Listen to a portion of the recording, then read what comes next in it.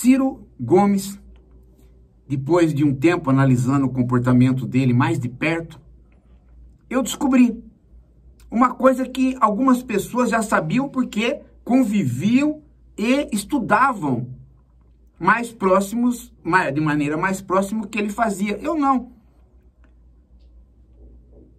Mas, à medida que ele foi se dispondo a ser candidato e depois continuar candidato, eu fui obrigado, até por ossos do ofício do canal, a olhar mais de perto. Até o dia, então, que ele soltou o livrinho dele, que eu comprei e li. E aí eu descobri que Ciro Gomes é um pseudo-intelectual. Ele não é um intelectual. Ele pode até querer ser, mas ele não é. Outra coisa que Ciro Gomes não é, é um político. E outra coisa que Ciro Gomes não é, é uma pessoa agradecida. São três coisas que o Ciro Gomes não é. E são três coisas que ele gostaria de ser, mas ele não é. Ele não é uma pessoa agradecida, porque ele foi ministro do Lula, o Lula o prestigiou, foi oferecido para ele a presidência da República, mas ele queria condições absolutas para ser candidato. E ele não entende que o próprio Lula não tem condições de trânsito absolutas no PT. Eu já vi o Lula perder uma convenção do PT, que foi exatamente a da Dilma. Ele estava cismado que a recandidatura da Dilma não iria dar boa coisa. E ele se calou porque as coisas não caminharam a favor dele. O Ciro não se acostuma à democracia. Ele não consegue entender um partido político, uma, um, um, um, histórico dentro de um partido político, porque ele entra nos partidos, não fez o gostinho dele, ele tira a calcinha, começa a girar e sai. E assim ele faz todo o tempo. Esta é a parte de mal agradecido dele. A outra parte é a confusão dele é, como político. Todas as alianças à direita que ele faz são legítimas, quando é ele. Interessante, né? Quando são os outros, são ilegítimas. Sem contar que todas as alianças que ele faz nunca vão para frente. E agora eu chego na parte onde ele é um pseudo-intelectual. Ele é um pseudo-intelectual porque ele escreve nas coxas. E ele não mostra para ninguém. Ele publica sem ter crítica. E aí sai uma porcaria, que é este livro que ele tanto orgulha e vendeu. Vendeu até porque as pessoas queriam um candidato mais intelectualizado. Várias pessoas foram nessa direção. Ah, um candidato mais intelectualizado, parece que ele tem programa e tal. E aí eu fui ver o livro dele. Há dois anos atrás, quando ele soltou, e fiz um artigo. Ele nunca conseguiu responder. Ele foge como o diabo foge da cruz. Eu sei porque um militante entregou o artigo para ele e ele correu do artigo. Porque o artigo mostra que o livro dele é de um pseudo-intelectual. Ele não sabe do que ele está falando. Ele iguala, por conta do universalismo, do neoliberalismo e do marxismo, que são perspectivas universalistas, ele põe os dois no mesmo saco e com uma linha, com uma linha, ele se afasta de ambos. Você já imaginou? Né? você pegar o Adam Smith e o Marx e com uma linha você se afastar de ambos? Você imaginou a pretensão e ao mesmo tempo a incapacidade de entender o que ele está lendo? Agora, se não bastasse isso, tem o núcleo central do livro, que propõe um nacional desenvolvimentismo completamente fora do tempo e do espaço. Deixa eu explicar uma coisa para vocês. Vou explicar claramente para aqueles que não acompanham esse tipo de discussão. O que, que é o nacional desenvolvimentismo trocando em miúdos? Era uma doutrina dos anos 50, principalmente né, a doutrina do ISEB, um Instituto de Estudos Brasileiros. E essa doutrina acabou virando uma ideologia. O que, que ela pregava? Ela pregava o aumento do mercado interno através de um esforço concentrado das chamadas classes produtivas. O que eram as classes produtivas? Era uma aliança de classes entre a burguesia dita nacional e os trabalhadores. E essa aliança de classe se fazia através do populismo de algum líder que tomava o Estado. Isto nasceu com o segundo Vargas, né? Vargas né, do segundo período, e se desenvolveu com o Juscelino, com o Jango, Quando o capital se internacionalizou, a burguesia brasileira rompeu esse pacto com os trabalhadores. O capital nacional deixou de ser nacional e passou a ser internacional na medida que o mundo se financiarizou. O sujeito compra ações através de fundos, através de pacotes. E ali, nessas ações, ou nesses papéis, ou nesses uh, títulos, ou nesses derivativos, seja o que for que você compra para render juros, ali dentro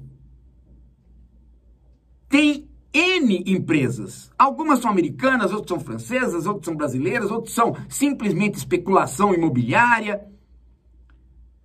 E quando o mundo começou a se financiarizar, a ideia de que existe um capital nacional foi por terra, porque todo mundo começou a comprar esses pacotes e esses pacotes do capital ali não, de, não, tem, não tem pátria. Então é por isso que a burguesia nossa rompeu o pacto com os trabalhadores, apoiou a ditadura militar e se internacionalizou. Deixou de existir a tal burguesia nacional. Isso num primeiro momento.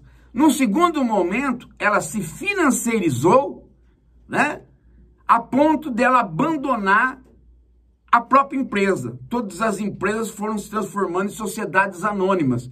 E os burgueses deixaram nos seus lugares executivos. E eles mesmos não ficaram nem com a maioria das ações, eles venderam e ficaram acionistas de vários pacotes no mundo. E às vezes acionistas mais de, de empresas que não eram deles do que das dele. E isto são as privatizações, todas elas de sociedades anônimas. A gente, às vezes, pensa que tem a figura do burguês porque a gente vê o milionário. Ah, o milionário é do... Não! Não existe mais a figura do burguês.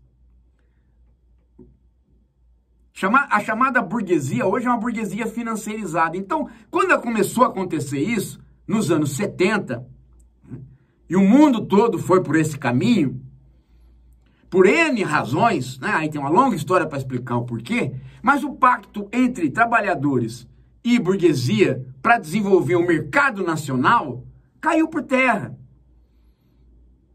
Por isso que veio a ditadura militar. E quando nós saímos da ditadura militar, o mundo já era completamente financeirizado. E o capital já estava internacionalizado. Portanto, refazer um pacto parecia alguma coisa impossível. Tanto é que nós continuamos pelo neoliberalismo, com o Collor, com o Fernando Henrique. Parecia que o Lula poderia fazer um pacto de novo. O Bresser Pereira, inclusive, acha que foi feito um pacto entre trabalhadores e burguesia nacional no governo Lula. Mas eu acho que o Bresser Pereira, se ele pensasse mais um pouco, ele ia ver que esse pacto não reproduz mais o pacto anterior. Por quê? Porque os trabalhadores já estavam, de certo modo, né, também eles perdendo os seus sindicatos. Também eles se desorganizando. E o vice do Lula, que seria então a burguesia nacional, também já não era mais nacional. Então, esse era um, foi, foi um pseudo-pacto, e não um pacto nacional desenvolvimentista. E que esse pseudo-pacto se rompeu de vez com a Dilma. Aí a burguesia realmente disse para Dilma: não adianta, nós estamos financiarizados, não queremos mais acordo com trabalhador nenhum, nós queremos a submissão dos trabalhadores né? e não um pacto com trabalhadores. Mas o problema é que os próprios trabalhadores já estavam dominados pelo neoliberalismo e eles não se identificavam mais como trabalhadores. Tanto é que quando a Dilma chamou os sindicatos, os sindicatos não é que eles não vieram, é que não tem mais força sindical com aquela capacidade que tinha no passado. A maioria né, das, dos trabalhadores brasileiros é, não tem mais o gosto de ser trabalhador, de estar sindicalizado, de pertencer a um partido político que representa os trabalhadores. Isso não cativa mais ninguém. As pessoas querem ser pequenos empresários, querem ser donos do seu negócio, querem ser livres para comprar e, e, vender. As pessoas engoliram o neoliberalismo como ideologia e não percebem que isso não funciona. Mas funcionando ou não, o importante é que esta ideologia pegou. Então os próprios trabalhadores também não fazem força para que as coisas se passem né, favorecendo um pacto entre a classe trabalhadora e a burguesia. Quer dizer, os dois lados se transformaram.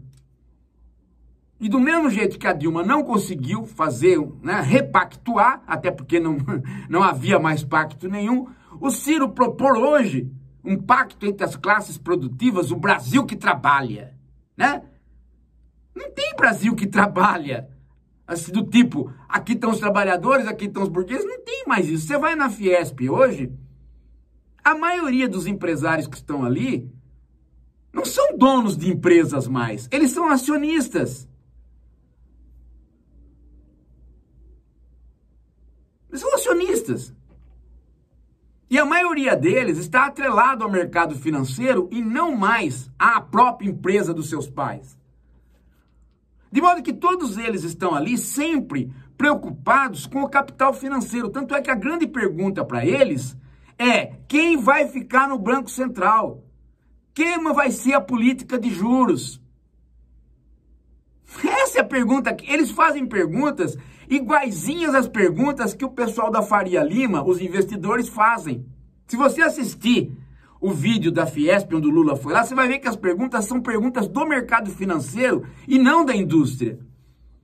É, às vezes até parece ser da indústria, mas quando o Lula chega junto e fala, vamos sentar e vamos ver onde é que o Brasil pode criar indústrias, eles desconversam. Então você não tem como pactuar pacto de classes quando as classes já não são mais a, a, a, as classes como elas eram. O Ciro Gomes não consegue entender isso. Pelo menos no papel ele não consegue entender. Então todas as propostas dele, né, neste, neste arcabouço do Nacional Desenvolvimentismo, fica sem sentido. E aí, o que, que ele faz para suprir essa falta de sentido no todo? Ele começa com lances esporádicos e oportunistas. Ah, eu vou tirar a dívida sua. Ah, eu vou fazer financiamento para smartphone. Ah, agora eu vou pegar o, o Eduardo Suplicy.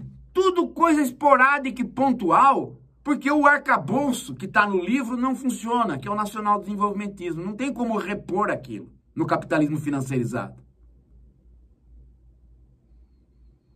E o fato dele não perceber isso o torna um pseudo-intelectual. Agora, o pior de tudo é que por trás desses três defeitos do Ciro tem um quarto que eu não falei. que é o profundo desprezo que ele tem pelo, pela população. Ele falou que não. Né? Quando ele deu, ele falou que era um, um, um, um comício para gente preparada. Se ele acha que quando ele fala para os ricos, eles, esses ricos são mais preparados que os pobres, é porque ele nunca foi conversar com gente do MST, que daria aula de economia para qualquer um desses ricos. Porque se você pegar hoje uma liderança, uma liderança do MST para conversar com o Roberto Setúbal, você vai ver que a liderança do MST sabe mais que o Roberto Setúbal, porque o Roberto Setúbal, eu já fiz o vídeo aqui sobre ele, ele é um dos donos do Itaú e a ideia dele é a teoria do bolo. O Brasil precisa crescer para distribuir renda, porque o Brasil é pobre. Ninguém defende isso mais. Então, um cara desse não é inteligente nem é preparado. Se o Ciro fez uma palestra técnica para este tipo de gente, é porque ele acha que esse tipo de gente é inteligente, mas não é. Por quê? Porque ele nunca conversou com o Sem Terra. Ele nunca conversou com os economistas do PT. Ele nunca, ele não consegue interagir com quem é efetivamente trabalhador. A própria maneira dele falar mostra isso. Meu povo sofrido, eu amo o povo. Ele ama o povo, essa entidade metafísica que ele criou para amar. É fácil. Eu amo os pobres, eu amo o povo, o povo sofrido da minha terra, ele fala. Só frase populista. Só frase populista. Ele é inca... Aí ele fala, já imaginou eu explicar esses detalhes técnicos lá na favela? Se ele fosse e encontrasse as lideranças, ele ia ver que elas é que dariam aula para ele. E em termos técnicos, inclusive. Mas ele não vai. Por que, que ele não vai? Porque quando ele vai, ele vai para dizer a banalidade de que ele vai financiar smartphone. Ele vai para mentir dizendo que ele vai fazer a renda universal mínima do Suplicy, quando na verdade ela já é lei. Ela foi aprovada no governo Lula, falta implementar. E ele né, nunca fez nada para implementar. Agora se envolveu com isso. Só porque ele viu que o Suplicy teve um arranca-rabo com o Mercadante. Ciro sempre ali, né? Promovendo a discórdia, promovendo né, interesses mesquinhos. E, por fim, Ciro não é só um pseudo-intelectual. Ele é incompetente até para viajar. Que ele comprou uma passagem para Paris, falar: "Você foi para Paris?" "Não, eu fui para Lisboa". Então ele comprou a passagem errado, o burro. Ou seja, não sabe nem chegar em Paris. Agora, tudo isso que eu falei, gente, é tudo uma coisa que para o Ciro não significa nada. Por quê? Porque o Ciro vem de um estado onde tudo já se resolveu, que é o Ceará. E lá ele resolveu tudo. Quando você vê o Ceará e a Noruega, você fica com dó da Noruega. Quando você vê o Ceará e você vê a, a Islândia, qualquer país da Europa, quando olha para o Ceará, sente aquela sensação né, de que eles não fizeram nada, porque eles não tiveram um prefeito e um governador como o Ceará teve. Tudo que se propõe no Ceará já foi feito. Então, por que esse cara, né, esse cara fica se dispondo a viver fora do Ceará? Ele tem que ficar lá no Ceará, ser vereador, ser prefeito, ser governador, ser deputado estadual e ficar ali, porque ali está tudo feito. Agora, ele querer fazer do Brasil um Ceará, a gente agradece. A gente não quer. A gente não quer. A gente gosta do Ceará, então, mas a gente não quer. A gente quer que o Brasil seja o Brasil, em todos os estados. A gente não quer o paraíso. Não, paraíso não. A gente quer um lugar vi para viver bem, mas não precisa ser o paraíso, portanto não precisa ser o Ceará. O dia que o Ciro baixar a cabeça, pegar o livrinho dele e for discutir com gente que sabe Aí eu vou começar a achar que ele tomou juízo. Mas ele não faz isso. Não faz. Ele só fica na discussão superficial e citando números mentirosos. Tá na hora do Ciro virar adulto. Ele ficou velho sem amadurecer. Ou melhor, ele apodreceu antes de amadurecer. E eu falo isso com conhecimento de causa porque eu acompanhei. Acho que eu fui o único leitor do livro, porque todo mundo comprou, mas ninguém fez a crítica. Só eu. Então, ninguém leu.